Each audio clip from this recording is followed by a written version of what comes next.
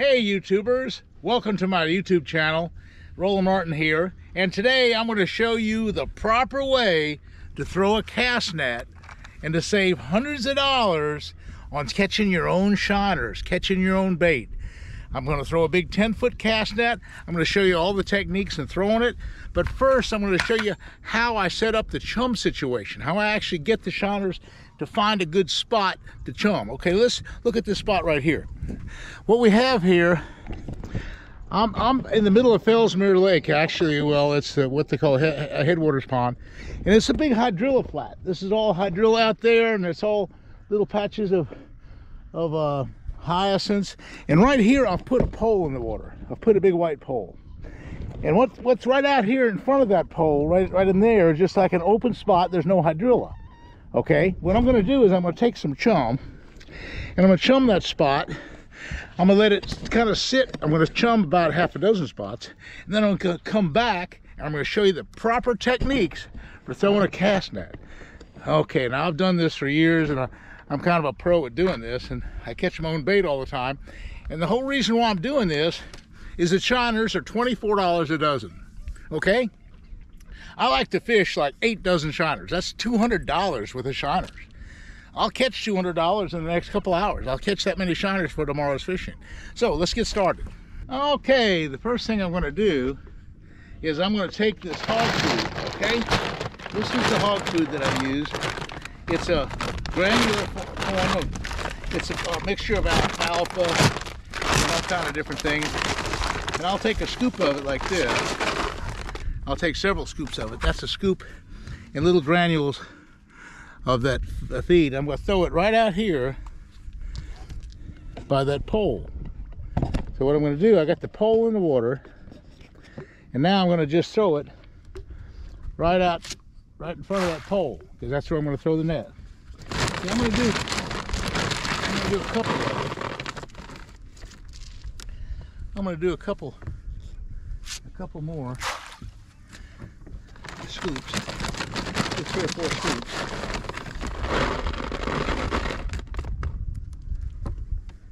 Okay. Good, good, good cast. Okay, folks. okay, now I've, I've, put about three big scoops of, uh, of, of hog feed in there. put this away and I'm going to go chum up about three or four more places. Then I'm going to come back and I'm going to show you the proper technique of throwing the cast net. Okay, now I'm back at the first hole. I got my shiner pole right here, and I got I've been chumming right here. I have some chum in this bucket, and what I'm going to do, I'm going to put a little water in there. Not much, just a little bit. And I'm going to make like a like a broth of. I'm just going to kind of mix it up. Just kind of make a soft little little chum thing out of it, and I'll be chumming with that sometimes I'll just throw just a little bit in there, just right where it was, and just sometimes you can see them come up to to the top. Let's see if they come up. No, I didn't see them. Sometimes they do. Sometimes they come up to the top. The other thing I've done, I've taken my watch off, and I've gotten all the things off of off my body that could catch the net. In other words, this net can catch on things. And so I don't want to have any kind of thing in my pocket, anything like that. Now, let me just show you what kind of net I'm using. It's important to have the right kind of net. Okay, let's, let's talk about nets for a second. This, this is a real high quality Colusa net. And this is made, uh, made here in, in the United States. And it's just a really good net. I've been using them for about 30 years. And I think it's the best net going. What this is, this is a little heavier. This has a 1.5 pounds per foot of weight. And that's just the right amount of water, I'm, I'm, sorry, that's the right amount of weight to make the net sink just right in this depth of water. Okay, now the first step to do in a net is straighten it out, make sure it's all, the brail's in the right shape. I'm gonna take the seat away.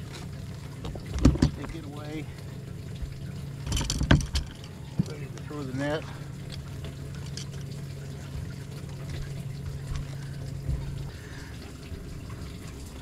chum a little bit more. Another chum ball right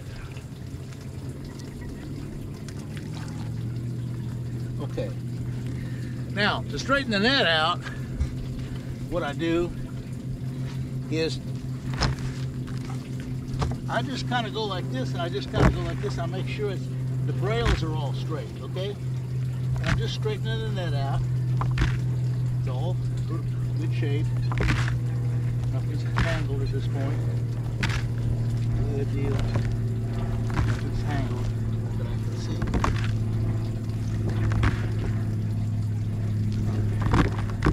It's pretty good. Okay. Now I'm gonna I'm gonna straighten the net. I'm gonna put it out this way. I'm gonna pull back get it all all in line. It's ready to go. Okay, now the next the next step is it's a dry net right now. I don't have to have I don't have to have rain gear on. But as I throw the net, I'm gonna have to put rain gear on. So right now I'm not gonna put rain gear on. I'm just gonna show you the first thing I do. First thing I do in, lo in loading the net is really, really critical to do this right. And there's YouTube videos on how to do it, and I'm doing it just exactly the professional way of doing it. The first thing, this loop, I don't want this have the loop binding my arm. I don't want to have throw it on an alligator or throw it on a manatee and have or throw it on a trolling motor when it's running or throw it on the main engine and have it running and pull it'll pull me in the water. That will pull me in the water. So what I do, I don't do that. So I can get out of this net, I throw on something that would take off. I just put my hand through like this, like this. Now I can always just pull it off. It just pulls off easy. Make two foot loops, like the boom, little bitty loops, okay. A loop like this. Now my hands aren't real big, and so what I do is I get the net up like this, and I don't want to make, I don't want to be holding too much net. So I'll take about that much net and hold it in my hand, okay, this much right here. I don't want to have too much stuff hanging down low. Seems like there's a little bit too much hanging down. So I'll get that tied right here, okay. Now, now I can straighten the net out, make sure it's twisted around the right way.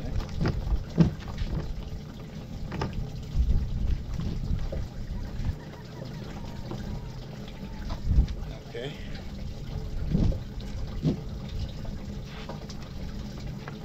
Okay. Now, I'll make the first big loop right about waist high. I'm coming in about waist high like this. Now I got the I got the net waist high and nothing's hanging below. No, none of this stuff is hanging below the net. Okay, the, the first step I'm going to do is take about a fourth of the net and pull about a fourth of it out. Not much, just about that much. When I get about a fourth of the net out, I'm going to take this right here and come under. I'm going to come under my arm and over my shoulder. Okay, let's do that again.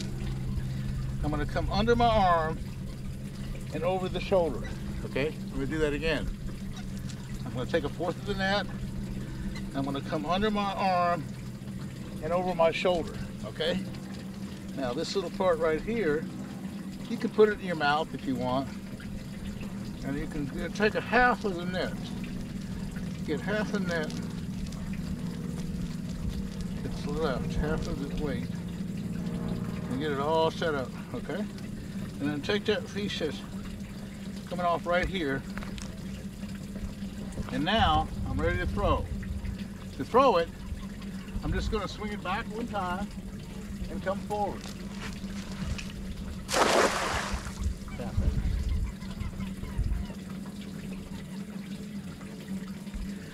Okay. Let's see what I got here. Pull the net back up.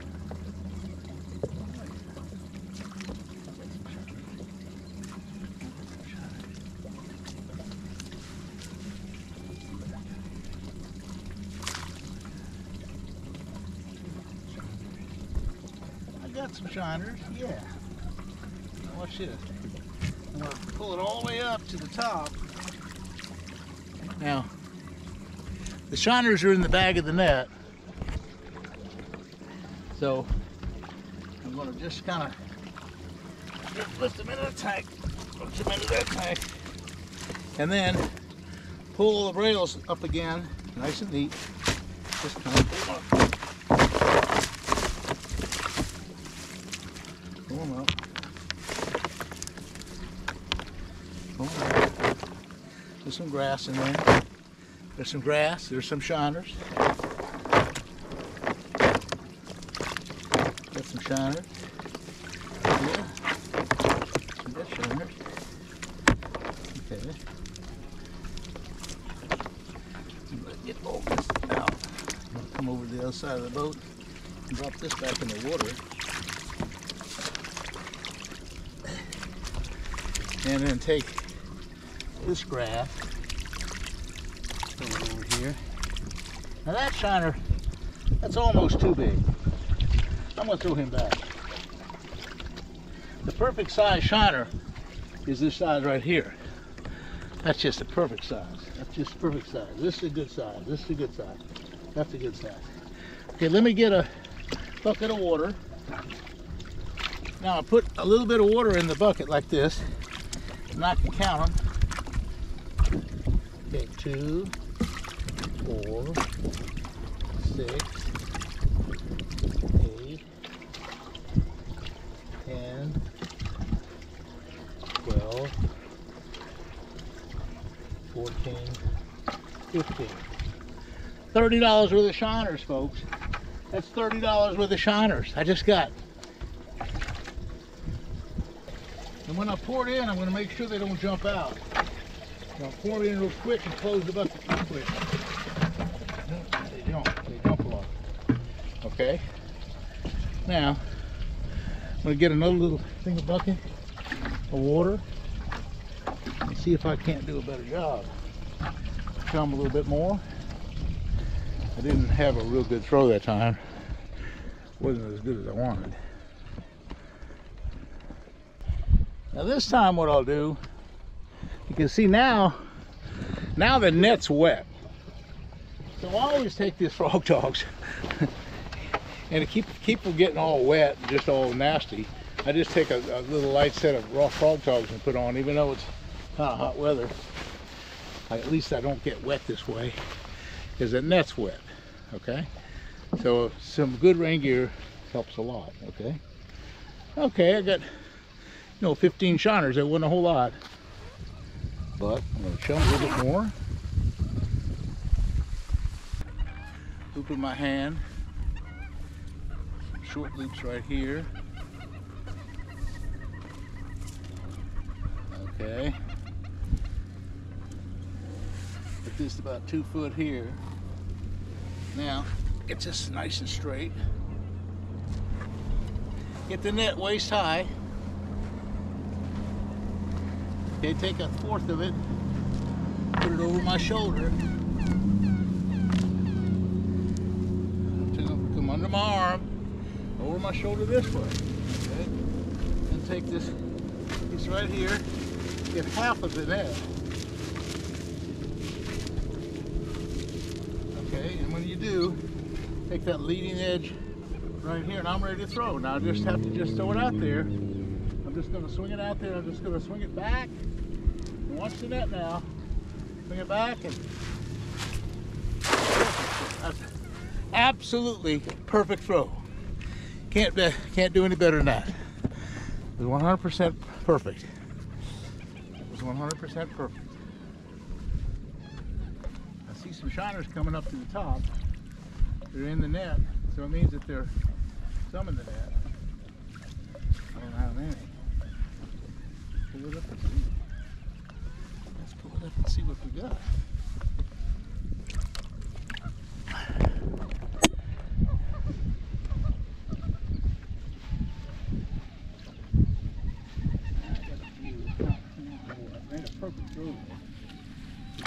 perfect throw. Another dozen or so. Remember, these are $24 a dozen. So I've made two throws and got several dozen now.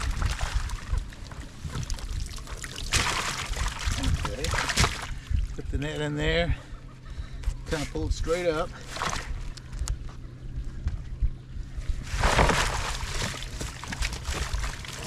Straight up.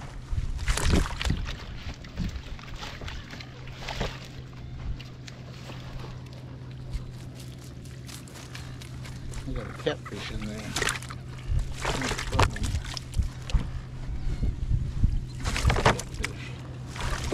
mess your net up. This net out of here.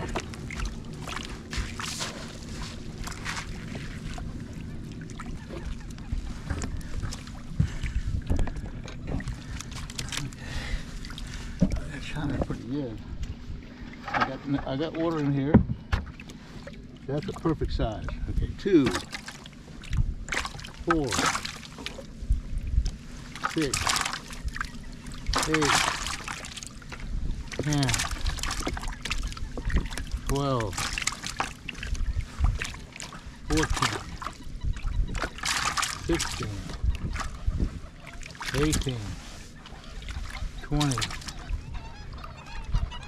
twenty-two three, or four. The rest of these are bluegills. Oh, 25. Now, you can't keep a bluegill. Gotta throw them back. Here's a, here's a big old bluegill. Can't keep them. That's 26 shiners. That's $50 worth of bait. Right there. I just got 20, $50 worth of bait. Beautiful shiners. Whoo, son. So I had 15 and 26. So what's 15 and 26?